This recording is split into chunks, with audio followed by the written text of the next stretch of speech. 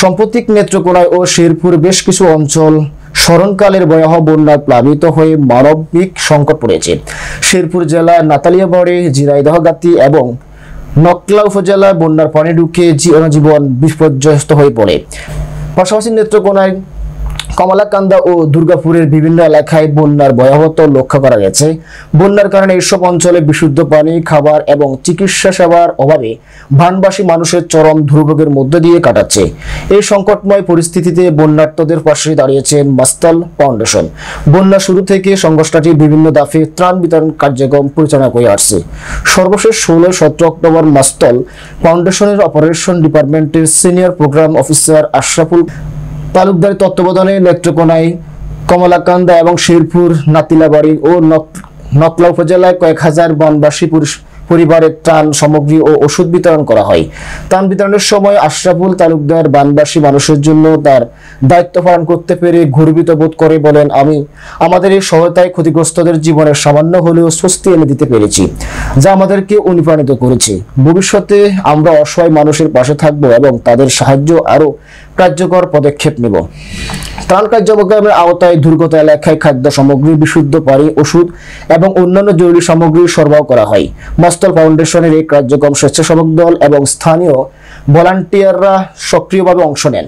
পাশাপাশি স্বপ্নপুরী মানব কল্যাণ সংস্থার প্রতিষ্ঠাতা মোহাম্মদ কায়সের আহমেদ এই ত্রাণ কার্যক্রম সহায়তা করেন, যা সংস্থাটির মানবিক সহায়তামূলক প্রচেষ্টাকে আরও জোরদার করে। স্থানীয় জনগণ মাস্তর ফাউন্ডেশনের এই উদ্যোগকে স্বাগত জানিয়ে বলছেন যে, এমন মানবিক সহায়তায় তাদের বেঁচে থাকার আশা জাগিয়ে তুলেছেন। প্রতিষ্ঠানটির কর্মকর্তারা জানান, ভবিষ্যতে মাস্তল ফাউন্ডেশন যে কোনো দুর্যোগ ক্ষতিগ্রস্তদের পাশে থেকে সহায়তার হাত বাড়িয়ে দিবে। ফাউন্ডেশন থেকে আমরা একটা দাতব্য প্রতিষ্ঠান যেখান থেকে আসছি। তো আমরা দেখেছি যে শেরপুরে প্রচুর বন্যা হয়েছে, এখানে নালিতাবাড়ি সব থেকে বেশি ক্ষতিগ্রস্ত। ঝিনাইগাতি নকলা ক্ষতিগ্রস্ত। আমরা বিগত দিনগুলিতে বন্যাতে কাজ করেছি। আজকেও আমরা আসছি যে এখানে শেফালি আপা আছে, স্থানীয় প্রতিনিধি সবাই চিনেন। তো আমরা স্থানীয় প্রতিনিধিদের মাধ্যমে কাজগুলি করে থাকি সারা বাংলাদেশে। তো আমরা আমাদের আমাদের যে দাতা সংগঠন আছে, যারা আসলে সহযোগিতা করে থাকে, তাদের তাদের সহযোগিতায় আমরা এই সহযোগিতাগুলি করে থাকি সারা বাংলাদেশে, ঠিক আছে? তো আজকে আপনাদের জন্য আমরা আমাদের সাধ্য অনুযায়ী আমরা ত্রাণ নিয়ে আসছি।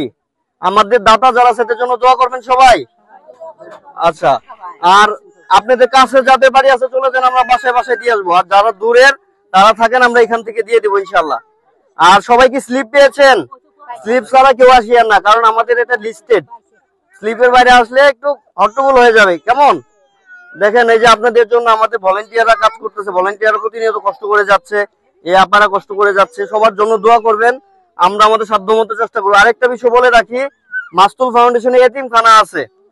যাদের যে ছেলে মেয়ের বাবা মা নেই নিত্যন্ত গরিব, ছোট বাচ্চা, চার পাঁচ বছর বয়স, তাদেরকে যদি এতিম এতিমখানায় দিতে চান, তাদের সকল দায়িত্ব আমরা নেব। বিনা পয়সায় থাকা, খাওয়া, পড়াশোনার ব্যবস্থা আমরা করব ইনশাল্লাহ এছাড়াও যারা বৃদ্ধ, তার দেখার কেউ নেই। আমাদের বৃদ্ধাশ্রম আছে। আপনারা চাইলে সেই বৃদ্ধাশ্রমে থাকতে পারবেন থাকা, খাওয়া এবং ট্রিটমেন্টের যে ব্যবস্থা, সবগুলি আমরা করব ইনশাল্লাহ বুঝতে পেরেছেন? যদি থাকে এই যে আপনার সাথে যোগাযোগ করবেন, এতিম বাচ্চা এবং কি বৃদ্ধ, যদি কেউ থাকে যোগাযোগ করবেন, আমরা আমাদের রেস্কিউ টিম দিয়ে আপনাদেরকে নিয়ে যাব এবং ওইখানে থাকা, খাওয়ার সুব্যবস্থা আছে। শেরপুরের বন্যা দুর্গত এলাকায়, যেখানে এসে দেখলাম এখানে যে মানুষ আসলে কি পরিমাণ অকল্পনীয় ক্ষতি হয়েছে তাদের। তাদের ক্ষতি আসলে অপূরণীয়। আমি মাসকুল ফাউন্ডেশনের পক্ষ থেকে এখানে এসে তাদেরকে দুই দিন, গতকালকে এবং কি আজকে ষোলো এবং সতেরো তারিখ, দুই দিন ব্যাপী ত্রাণ বিতরণ করলাম বিভিন্ন জায়গায়। তো এখানে ত্রাণ দিতে পেরে আমার অনেক ভালো লেগেছে, আলহামদুলিল্লাহ। আসলে তাদের পাশে দাঁড়াতে পেরে আমি খুবই আনন্দিত এবং কি সামনের দিনগুলোতেও এদের পাশে মাসকুল ফাউন্ডেশনের পক্ষ থেকে আমরা দাঁড়াবো এই